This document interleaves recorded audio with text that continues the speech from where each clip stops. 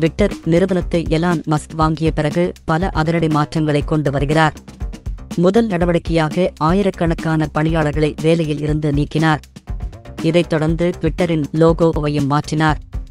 பறவைக்கு பதிலாக நாயை வைத்தார். இது ட்விட்டர் பயனாளர்களின் கடும் எதிர்ப்புக்கு ஆளாக்கியது.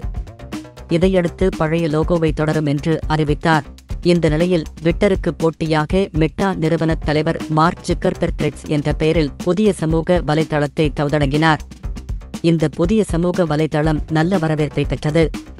இதையடுத்து எலான் மஸ்குக்கும் மார்க் ஜிக்கர்பெர்க்குக்கும் இடையே வார்த்தை போர் ஏற்பட்டது.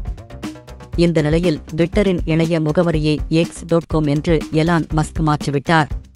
இதையடுத்து ட்விட்டர் லோகோவையும் மாற்ற அவர் முடிவு செய்திருப்பதாக கூறப்படுகிறது. இரண்டாயிரத்து ஆறு ஆரம்பிக்கப்பட்ட ட்விட்டர் நிறுவனம் குறுஞ்செய்திகளை தங்களுக்குள் மக்கள் அனுப்பி பகிர்ந்து கொள்ளும் நோக்கோடு உருவானது. பின்னர் சிறிய அளவிலான வீடியோக்கள் புகைப்படங்கள் ஆகியவற்றை அனுப்பி பரிமாறிக்கொள்ளும் வகையில் அதன் செயல்பாடுகளில் விரிவாக்கம் செய்யப்பட்டன. இதன் தலைமை செயல் அதிகாரியாக செயல்பட்டு வந்த ஜாக் டோர்சி கடந்த இரண்டாயிரத்து இருபத்தோராம் ஆண்டு நவம்பர் இருபத்தொன்பதாம் தேதி பதவி விலகினார். மெட்டா நிறுவனம் ஃபேஸ்புக் வாட்ஸ்அப் மற்றும் இன்ஸ்டாகிராம் என மூன்று சமூக வலைதளங்களை தன்வசம் வைத்துள்ளது.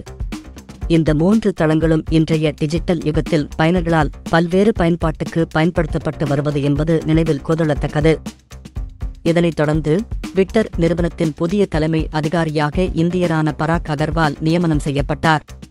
இதன் பின்னர் உலகின் மிகப்பெரிய பணக்காரரும் டெஸ்லா நிறுவனருமான எலான் மஸ்க் கடந்த ஆண்டு அக்டோபர் இறுதியில் ட்விட்டர் நிறுவனத்தின் உரிமையாளரானார்.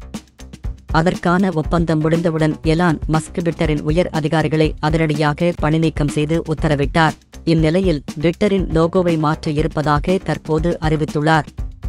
சிறந்த லோகோ கிடைக்கும் பட்சத்தில் இன்று இரவே ட்விட்டரின் லோகோ மாற்றப்பட்டுவிடும் என்று அவர் ட்விட்டரில் தெரிவித்துள்ளார். ஏற்கனவே கடந்த ஏப்ரல் மாதம் ட்விட்டரின் அடையாளமான நீலக்குருவி லோகோவுக்கு பதிலாக டோட்காயின் கிரிப்டோ கரன்சியின் நாய்ப்படத்தை லோகோவாக வைத்தார்.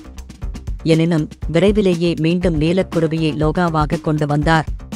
இந்நிலையில் ட்விட்டர் லோகோவை அவர் நிரந்தரமாக மாற்றும் நடவடிக்கையில் இறங்கியுள்ளார். கடந்த ஏப்ரல் மாதம் எலான் மஸ்க் ட்விட்டரின் சியோவாக லிண்டா யாக்காரினோவை நியமித்தார்.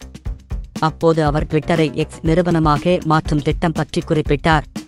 அதாவது ட்விட்டரை சமூக வலைதளம் மெசேஜிங் பணப்பரிவர்த்தனை என அனைத்து செயல்பாடுகளையும் ஒரே இடத்தில் மேற்கொள்ளும் வகையிலான செயலியாக மாற்ற அவர் திட்டமிட்டுள்ளார். இந்நிலையில் ட்விட்டரின் லோகாவை மாற்ற இருப்பதாகவும் ட்விட்டரின் பிராண்டை சீரமைப்பு செய்ய இருப்பதாகவும் தற்போது அவர் வெளியிட்டிருக்கும் அறிவிப்பு கவனம் ஈர்த்துள்ளது.